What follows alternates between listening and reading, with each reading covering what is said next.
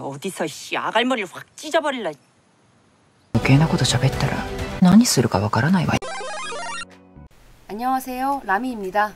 일본의 톱스타 오구리 슌이 우리나라 배우 한효주와 넷플릭스 드라마를 찍게 되었습니다. 옥태견은 기무라 타쿠야 주연 영화 그랑메종 파리에 출연합니다. 기무라와 대립하는 한국계 캐나다인 파티시에를 연기합니다. 한국어를 포함해 일어 프랑스어까지 3개국어 연기에 도전한다고 하네요. 옥택연은 과거 김태희와 니시지마 히데토시가 주연을 맡은 드라마 나와 스타의 99일에도 출연한 바 있습니다. 또 우리나라에서 크게 성공했던 드라마 스카이 캐슬이 일본에서 리메이크 된다고 하죠. 오늘은 요즘 심심치 않게 들려오는 한일 합작 프로젝트에 관해 살펴보는 시간을 갖도록 하겠습니다. 구독과 좋아요 그리고 알림 설정 역시 잊지 말고 부탁드립니다. 우리나라에서도 인기가 참 많은 배우죠. 일본의 톱배우 오구리 슌과 한효주가 넷플릭스의 새로운 시리즈 로맨틱 어나니머스에서 함께합니다. 이미 출연 배우들과 함께한 사진도 공개되면서 기대감을 올리고 있는데요. 얼마 전 배우 송중기도 이 작품 촬영에 임했다는 소식도 들려오더라고요. 어떤 역할로 어느 정도 비중으로 출연하게 될지 궁금해집니다. 사람과 접촉할 수 없는 주인공과 사람의 눈을 볼 수 없는 히로인, 그리고 동시에 대인관계에 큰 고민을 하는 남녀가 초콜릿을 계기로 우연의 만남을 갖게 되면서 시작되는 로맨틱 코미디물입니다. 오리지널 작품은 아닙니다. 프랑스 영화가 원작입니다. 오구리 슌이 로코 장르에 출연하는 건 정말 너무나 오랜만인데요. 이시하라 사토미와 함께했던 드라마 리치맨 푸어 우먼이 2012년 작품이니까요. 그 이후 드라마나 영화에서 러브가 없었던 것은 아니지만 본격적인 건 정말 오랜만인 것 같아요. 그러고 보면 한효주도 한동안 로맨스 작품과는 거리가 좀 있었던 것 같긴 합니다. 뷰티 인사이드에서처럼 아름답게 나오면 정말 좋겠네요.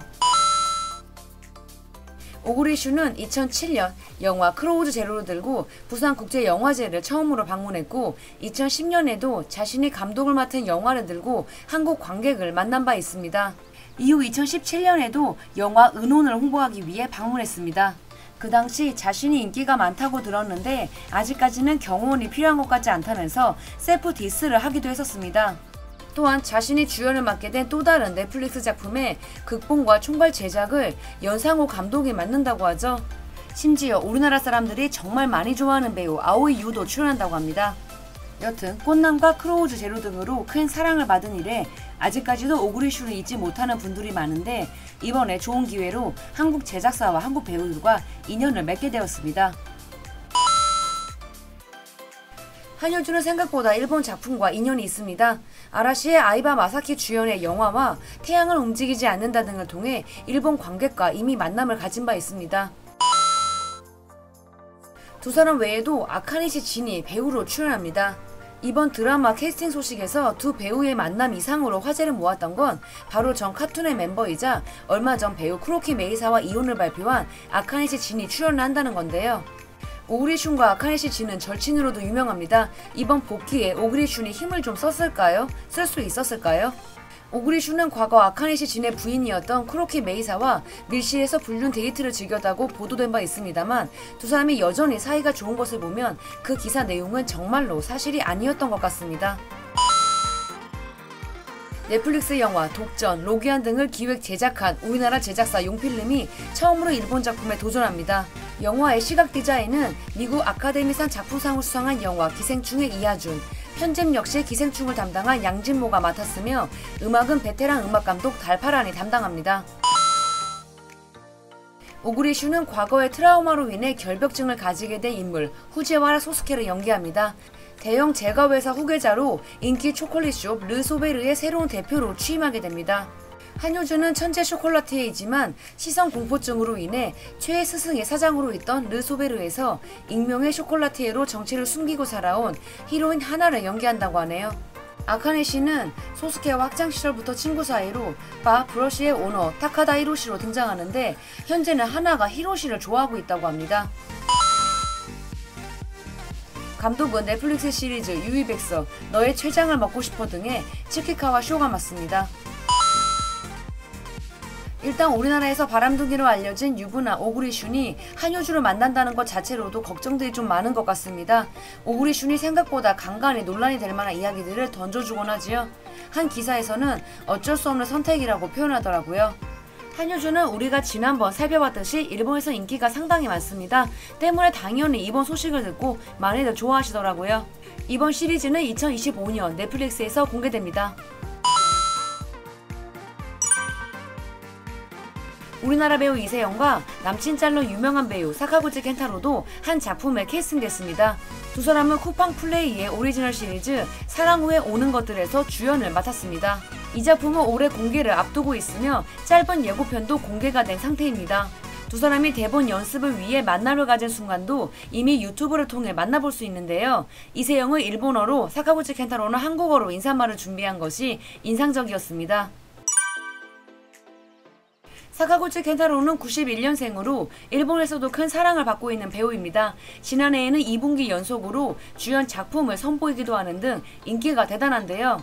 작년 9월에는 우리나라에서 팬미팅도 열었습니다. 예매 시작과 동시에 2회 공연 전성 매진을 기록하는 등 우리나라에서도 큰 사랑을 받고 있는 배우입니다. 배우 타카하타 미즈키와 오랜 기간 열애설이 있기도 했는데요. 현재는 알려진 여친의 존재는 없습니다. 남자 주인공 중고가 일본에서 유학 중에 홍을 만나 아름답고 애틋한 사랑을 나누지만 두 사람은 설명하기 복잡한 여러 가지 이유로 이별합니다. 하지만 서로를 그리면서 준고는 일본에서 홍은 한국에서 살아왔는데요. 이런 두 사람이 5년 후 한국에서 우연히 재회하게 된다는 운명적인 러브 스토리입니다. 원작은 봉순이 언니, 도가니 등의 작가 공지영과 냉정과 열정 사이에 츠지 히토나리가 공저한 동명 소설입니다. 공지영은 여자 주인공 시선에서 츠지 히토나리는 남자 주인공의 시선에서 이 러브 스토리를 그려나갔습니다.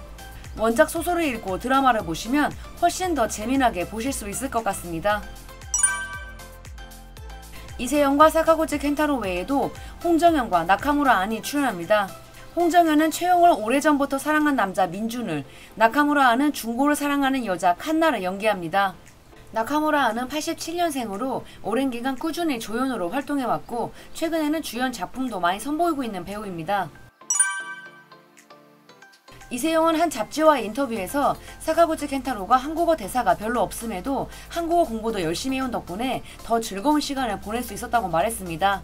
사실 이 작품은 이세영이 연기하는 홍이 일본어를 잘하는 역할로 나오기 때문에 이세영이 상당히 고생을 했을 것 같다는 생각이 들긴 합니다. 드라마는 올해 쿠팡 플레이에서 공개됩니다. 일본에서 우리나라에서 빅히트했던 스카이 캐슬을 리메이크합니다. 당장 다음 달에 방영을 시작합니다. 기무라 다쿠의 주연 작품 빌리브 너에게 놓는다리 후속으로 테레비 아사히를 대표하는 시간대에 편성이 되었습니다. 그만큼 힘을 팍팍 주고 있다는 뜻이겠죠. 기대감도 높고요. 주연은 마츠시타 나오입니다. 배우 염정아가 연기했던 한서진을 연기합니다. 한서진 캐릭터는 누구나 부러워할 커리어와 외모를 가진 완벽한 셀럽 아사미 사이로 다시 태어납니다. 이태란이 연기했던 이수임 역할은 기무라 후미노에게 돌아갔습니다. 기무라는 우리나라 배우 심은경도 출연했던 드라마 치인의 비서를 비롯해 많은 작품에서 주연급으로 활약하고 있으며 시청률도 잘 뽑아내는 배우 중 한 명입니다. 두 사람 외에 히가 마나미, 타카하시 메리준, 코유키가 출연합니다. 스카이캐슬에서 가장 큰 역할을 해주었던 김서영이 연기했던 스행님, 김주영 역할은 코유키가 연기합니다. 코유키는 다들 많이 아시는 배우죠? 아주 아주 오래전 마츠모토 준과 드라마 너는 펫에 나왔었고 영화 데스노트 등으로 알려진 9살 연하의 배우 마츠야마 켄이치와 2011년 결혼했습니다. 세 아이의 어머니이기도 합니다. 과거 둘째 아이를 우리나라에 와서 원정 출산해서 화제였습니다. 우리나라의 산후조리원 시스템에 반했다는 것이 이유였죠. 정준호 역할은 타나베 세이치, 김병철 역할은 스즈키 코스케, 조재윤 역할은 혼다 치카라가 연기하며 최원영 역할에는 우리나라와도 인연이 깊은 오타니 료헤이가 캐스팅됐습니다. 원작은 JTBC에서 2018년에서 19년에 방영된 드라마 스카이 캐슬입니다. 1화 시청률은 1.7%에 불과했지만 몰아치는 스토리와 중독성 있는 이야기가 화제를 모으며 마지막 회는 비지상파 채널에서 당시 역대 최고인 23.8%를 기록하면서 큰 사랑을 받았습니다. 이태원 클라스의 일본 리메이크 작품 롯봉기 클라스의 제작진이 우리나라 스튜디오와 다시 힘을 합친 한일 공동 프로젝트입니다. 이야기의 무대는 화려한 셀럽 아내들이 살고 있는 고급 주택가 스카이캐슬. 세상 사람들이 보기에 우아하고 기품 있어 보이지만 그녀들은 누구에게도 말할 수 없는 비밀을 가지고 있죠. 셀럽 인생에서 치명상일될 과거를 가진 주인공 사이를 비롯한 다섯 명의 여자들을 둘러싼 무시무시한 이야기가 일본을 무대로 다시 펼쳐집니다. 예고편도 벌써 살짝 공개됐습니다. 빨리 만나보고 싶어지네요. 개인적으로는 배우 김혜윤이 연기했던 예서 역할에 누가 캐스팅됐을지 제일 궁금합니다. 앞으로도 한해 합작 프로젝트가 많아지길 바라면서 이번 영상을 마칩니다. 지금까지 람이었습니다. 영상이 재밌었다면 구독과 좋아요 그리고 알림 설정 부탁드릴게요. 그럼 다음 주에 또 만나요.